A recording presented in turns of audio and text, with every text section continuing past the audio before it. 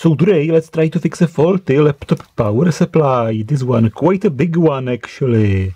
For some reason it has a British plug, but to fit my socket I could use some dodgy adapter or I can just use another cable for the test because the other end of it has this standard connector and so I can test it using this European cable which fits into my Czech socket. But before this, let's quickly check this British plug. It has a fuse because a proper British plug has to have a fuse in it and there is a fuse, a 10 amp fuse, lead free and so it seems to be compliant and it has those sleeved live and neutral pins and a non-sleeved ground or earth pin. So it seems to be compliant. It's not a dodgy Chinese version of a British plug. And of course, before opening the power supply, it's a good idea to check the continuity of the cable.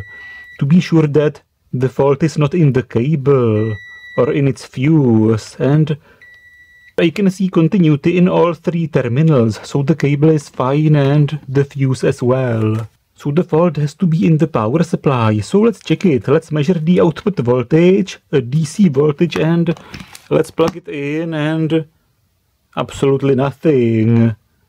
No voltage at the output. So it's dead. So I have to open it. And it's of course glued or welded so I have to use some violence to open it. And this is always quite tricky to open. You can use some screwdrivers to pry it, but it leaves horrible marks on the plastic, or you can try to press it somehow to crack the plastic welds, or you can also, of course, use some tools to cut it, some saw or something, or in the worst case, you can use a hammer to break the weld. Those things have no screws and they are really not meant to be ever opened and repaired.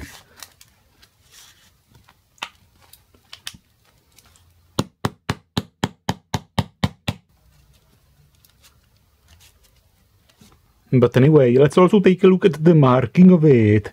The input is a universal mains and the output is 20 volts 6.75 amps, which is actually quite a lot of power.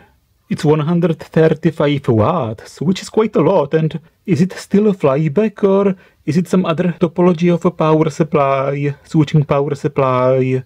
Because 135 watts is close to the limit of a flyback switching power supply topology. And it also says the power consumption 151.16 watts or watt hours. Shouldn't it be in watts? Or they mean watt hours per hour probably. If the output is 135 watts, it makes sense that the input power is a little bit more, so it could be about 150 watts, which means it has about 90% efficiency. And is it in Spanish? I don't understand it, but this is probably the power consumption when it's not loaded, about 0.1 watt. And here's the date of manufacture, so it's like two years old, it's not much, and it already failed. And also, given the power of it, it probably also contains a power factor correction. And here's the rest of the marking. And of course, made in China.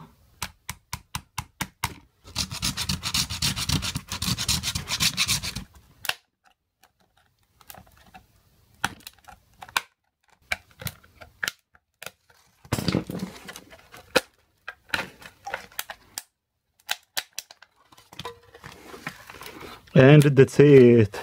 This is an absolutely horrible non-openable construction. And it's open. And there is some additional aluminium cover, which is a heat sink, but also a shielding, probably. And, and then there is a lot of resin in it, which is also quite annoying. Let's try to remove some of the resin from it, if it's possible. It's not easy to remove, of course. Okay, so most of the resin is removed, quite a lot of it and extremely annoying. So now the power supply is revealed from this side of it and from the other side there is this shield which is soldered to it, so I have to desolder it.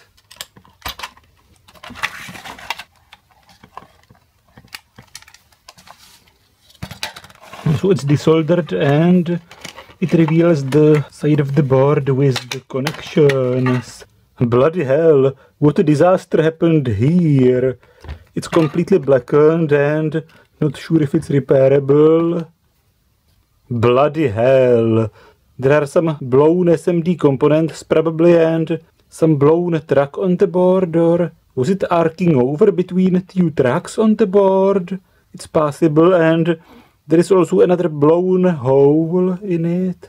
But this one definitely seems like two different tracks on the board, so it seems that it arced over between them.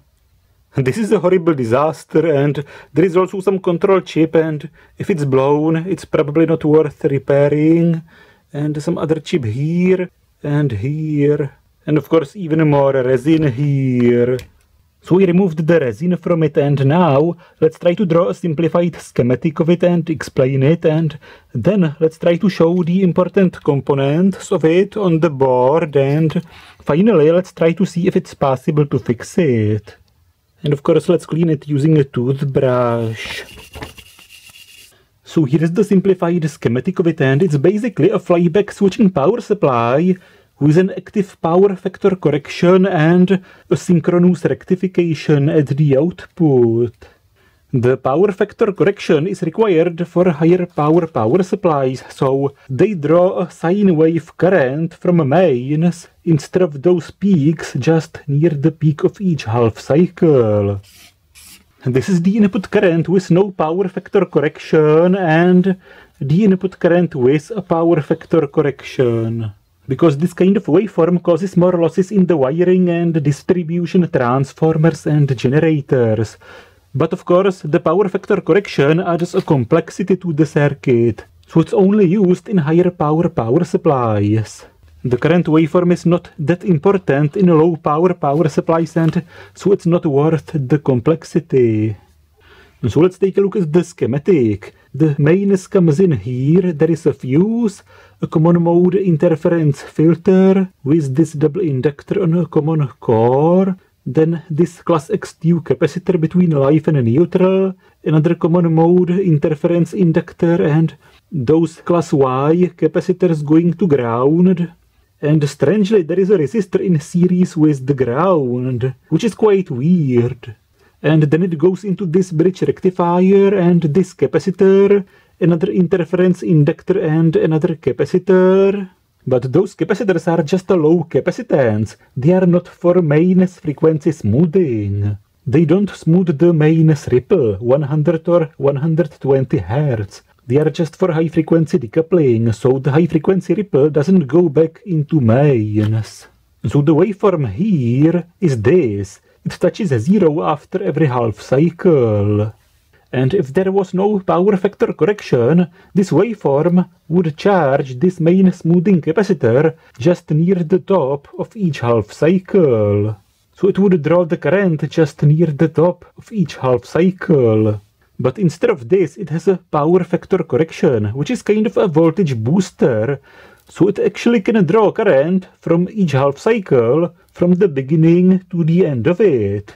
It's a booster, so it basically allows this capacitor to charge even if the voltage is lower than this capacitor's voltage. And this power factor correction inductor is basically like a voltage booster inductor. And this transistor, a MOSFET, switches and when it's on, the energy accumulates in the core of this inductor and when it turns off, the current goes through the inductor and through this diode into the capacitor and it boosts the voltage because basically the voltage on this inductor adds to the voltage of this capacitor. Basically in one step it accumulates energy in the inductor and then the polarity on it changes and the voltage on it adds to this capacitor. And there is also this diode which is a necessary part of the power factor correction and when the transistor is on the current goes like this through the inductor and the voltage is in this polarity on it and when the transistor turns off, the polarity changes on the inductor and the voltage on it adds to this capacitor's voltage and it charges this capacitor like this. And the gate of this MOSFET goes into the control circuitry and there is also a current sensing resistor, a low resistance resistor, just 50 milliohms or 0.05 ohms. And according to the voltage drop on it, the control circuitry can tell the current going through the transistor. And of course this inductor has some auxiliary winding on it, probably to power the control circuitry or to sense the voltage on it or something like this. So basically we via this diode it charges this capacitor and strangely there is an NTC thermistor for inrush current limitation here instead of at the input. And this one basically limits the inrush current when this big capacitor charges when you turn it on. Because when you turn it on, initially the capacitor charges straight from mains. And then after this, the power factor correction circuitry boosts the voltage and charges it to even higher voltage. And of course I can't measure the voltage on the capacitor because it doesn't work, but my guess is about 370 to 400 volts. But of course the voltage on the capacitor still ripples a bit, but it doesn't touch zero. And the power factor correction doesn't try to keep a completely smooth DC on the capacitor. Instead of this, it tries to basically draw a sine wave current from a mains. And of course the voltage ripples on the capacitor a bit, but the average voltage on it is roughly the same, no matter the input voltage from a mains. So no matter if you have a 100, 110, 120 or 220, 230 or 240 volt mains, it tries to keep roughly this voltage on the capacitor, so the power factor correction basically is also some kind of pre-regulation. So the flyback power supply circuitry doesn't have to work with a wide range of voltages. Of course, the power factor correction has some losses in it, but on the other hand, the flyback circuitry is a bit more efficient because it doesn't have to work with a wider range of voltages. So as you can see, after the power factor correction, there is a flyback switching power supply. It has a MOSFET, a current sensing resistor, a snubber capacitor on the transistor, some snubber network with a diode, low resistance resistor, a capacitor and those resistors discharging this capacitor or dissipating the power from it. It basically limits the spikes from this inductor when the transistor turns off. It basically rectifies the spike and it goes into the capacitor and then it's dissipated in those resistors. Here's the secondary winding and instead of a diode, there is a MOSFET for the rectification. It's basically a synchronous rectifier, which uses a MOSFET instead of a diode to reduce the losses, because a MOSFET, when it's on, can have a lower voltage drop than a diode. So the advantage is lower losses, but also the disadvantage is more complexity, because the MOSFET has to be actively controlled by some control circuitry. And it's a flyback switching power supply, so when the transistor is on, the polarity on the primary is this, and the polarity on the secondary is this. So this diode is in reverse and also the transistor has to be turned off by the control circuitry. And when the transistor turns off, the polarity changes on the primary and also on the secondary and now this secondary can charge the capacitors via this diode in the transistor but to reduce the losses, to reduce the voltage drop, the control circuitry turns the transistor on. So the transistor basically bypasses the voltage drop of the diode. And of course it's a flyback, so when the transistor is on, it accumulates energy in the core of the transformer, or actually in its air gap, in the air gap of the ferrite core. And when the transistor turns off, the energy from the transformer goes to the secondary and the transformer accumulates energy, so it's not actually a true transformer. It's like an inductor with two windings or more windings. And the secondary is rectified and smoothed by those capacitors and then it goes through some current sensing resistor and some interference inductor and to the output. And there is also some interference capacitor with some resistor here and it goes to ground and also the negative rail of the rectified mains on the primary side goes via this interference capacitor to ground via a safety capacitor class Y1. And of course now let's take a look at the board. Here is the mains input, a tiny fuse, this black one, this interference inductor double one, interference capacitor class X2, those interference capacitors class Y, one or two probably, another interference inductor, a double one, then the bridge rectifier, this interference capacitor or high frequency decoupling capacitor, this interference inductor and another capacitor. It's a film capacitor, not an electrolytic one. Here is the power factor correction inductor. In this case, it's on a ferrite core, probably with an air gap, but sometimes it can be on an iron powder core. then here's the switching transistor of the power factor correction and the diode in it, and this NTC thermistor, which is in some sleeve, and here's the big smoothing electrolytic capacitor. And there is of course also a heat sink for this transistor, the flyback transistor and the bridge rectifier. And the flyback is here with its big transformer because it's quite powerful for a flyback. And there is the diode in the snubber network, some auxiliary capacitor for the control circuitry and this safety interference capacitor, the output interference inductor, those output capacitors, electrolytic ones, with the marking here and the secondary rectification transistor, not a diode but a synchronous rectifier with a MOSFET. And here's the output to the connector. And from the other side of it, there are some SMD components, a lot of them actually. And here's the strange resistor in series with the ground, which is quite weird. And this connection goes to the metal shield and this also connects the ground to this. And here you can see some startup resistors for the control circuitry, the primary control circuitry with the chip and a lot of SMD capacitors and resistors and some diodes, maybe some tiny transistors.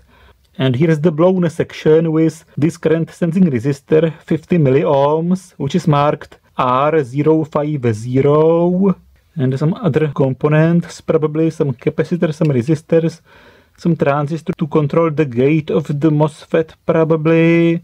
And there is one more current sensing resistor for the flyback MOSFET, and again some resistors, capacitors, some tiny transistor to drive the gate of it, probably. Here's an optocoupler to isolate the feedback of the flyback switching power supply, and also some chips on the secondary side. And one of them is probably a voltage reference to sense the voltage at the output accurately, and the other one probably is to control the synchronous MOSFET, to control the synchronous rectification. And there is also some current sensing resistor at the output. I scratched it accidentally when I removed the resin, but it seems to be R010, which is 10 milliohms. And the isolation distance on the board between the primary and the secondary side is quite nice, so it seems to be safe. It doesn't seem to be a dodgy product, but it failed anyway. And it seems that what failed is the power factor correction circuitry. The current sensing resistor in it is cracked and this transistor is shorted and some other blown components again in the power factor correction circuitry. And let's try to test the MOSFET using a continuity tester. From drain, it's the middle pin to source, short circuit and to gate a short circuit and also between gate and source. It's basically shorted in all three ways. So the transistor is gone. And the transistor of the flyback This is a short beep, so it's a capacitor charging, not a short circuit. And the transistor seems fine. And let's try a diode test from source to gate and probably some diode in the control circuitry. From gate to source, it should be open circuit or something in the control circuitry, not in the MOSFET basically. And from the drain to source, well, maybe there is something wrong. And from the source to drain, It's not a dead short circuit, but I measure some voltage drop of some diode or a diode in the control chip. I don't know. I don't think the transistor in the flyback is bad, but it can be shorted through the other transistor. So this transistor is blown. This one may be actually good, but shorted through this. Now let's measure the diode in the snubber network and this diode in the power factor correction. So here's the snubber network diode, which is fine. It has a voltage drop at a low current, about half a volt. And now the power factor correction diode, which is virtually zero voltage drop, and in the other direction as well, so it's shorted. And of course the diode in the snubber network is not conductive in the other direction. But of course measuring in a board is always tricky because the component you're measuring is connected to other components. So it may seem shorted even if it's not. So let's try to remove those blown components, the transistor in the power factor correction and the diode. Let's desolder them. And let's measure them outside the board and the transistor is still completely shorted and the diode is also completely shorted. And the fuse is blown open circuit and the bridge rectifier. A good diode here a good diode here blown one here and another blown one here it's a short circuit. Basically, two diodes failed in the bridge rectifier in the half cycle when the disaster happened. Now the question is in which order did it fail, but if the transistor failed first, there is no reason why the diode should fail, it would be in reverse. So I guess that this diode failed short circuit first and then this capacitor discharged into the transistor and the transistor failed also short circuit which also shorted mains through the bridge rectifier and so the bridge rectifier blew and of course the fuse. And it also blew this current sensing resistor open circuit. Now the question is, did it blow the chip? Because when the transistor shorts, it may short all three pins, so the high voltage from the rectified mains can go through the transistor from the drain into the gate and into the chip. Especially when the current sensing resistor blows open a circuit, and then the high voltage can also go into the chip through this current sensing connection. So let's try to run it without the power factor correction to see if it works. This is possible for the higher voltage mains. It's probably not possible for the lower voltages like 100 to 120 volts. With a 230 volt mains, you get about 325 volts DC after the rectification and this could be enough to run the flyback without the power factor correction. This voltage is close enough to this voltage which is normally there. So let's basically try to disconnect this bypass this like this and replace the fuse using a tungsten lamp for test and replace the bridge rectifier and that's it. So now it's all botched together. I botched some random bridge rectifier onto it instead of the blown one and a tungsten lamp instead of the fuse for test and let's try to turn it on. The lamp blinks as the capacitor charges and does it produce some voltage? and something smells and the output no voltage. I also tried to fix some blown tracks on the board and one more test. It blinks and nothing. And some explosion. And the lamp is now full brightness, so it's in a short circuit. So now it's properly blown. The flyback transistor is now also in a short circuit and also the control chip exploded and there is a hole in it. And the problem probably is that the control chip is common for the power factor correction and also for the flyback. There seems to be just one chip for both. And the explosion of the power factor correction circuitry damaged the chip and so the flyback also didn't work. In some power supplies, it's possible to remove the power factor correction and the rest of the power supply still works. But this is usually when the power factor correction has its own control circuitry and its own control chip. Several times I managed to fix a power supply with a blown power factor correction just by bypassing it and it worked without it, but it's not going to work in this case. And here's the control chip which is now properly blown. Nice. So unfortunately this one is not fixable, but at least you could see what's inside of it and how does it work. Or how did it work actually. And I can salvage some components from it. And I noticed this NTC thermistor is also damaged. It has a much lower resistance than it should be.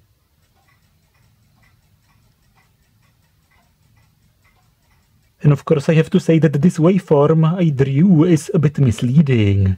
This is a waveform of a normal bridge rectifier and smoothing capacitor, whose no power factor correction, so let's correct it. The red line is the input sine wave voltage, and the blue one is the voltage rectified. And I didn't draw the current waveform because the current waveform is actually the same as the voltage waveform or at least very similar to it because a power factor corrected power supply is trying to act as a resistive load. So in a perfect scenario, the input current waveform is the same as the input voltage waveform and it's acting as a resistive load. So the input power of it then is the same waveform as for a resistive load, which is basically a 100 Hz or 120 Hz sine wave oscillating between 0 and twice the average power, average input power. And the voltage ripple on the smoothing capacitor, the electrolytic one, is this line. And I think that the waveform is also roughly a sine wave, a 100 Hz or 120 Hz one, which is lagging 90 degree after this waveform.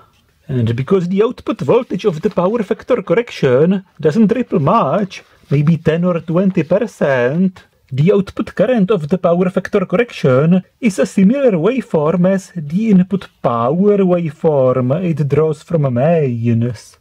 And the capacitor kind of integrates its charging current, so the waveform looks like this. It's 90 degree lagging after the input current, which is roughly the same waveform as the input power drawn from a mains. And of course the voltage on the capacitor is always higher than the rectified mains. And of course this video is already getting bloody long. And it's unfortunate that I couldn't fix it, but it seems that the control chip was already damaged from the explosion of the power factor correction and it probably didn't drive the flyback transistor properly and so the transistor went short circuit. So this is Wild, and see you in my next videos and thanks to all of my patrons on Patreon. I really appreciate your support.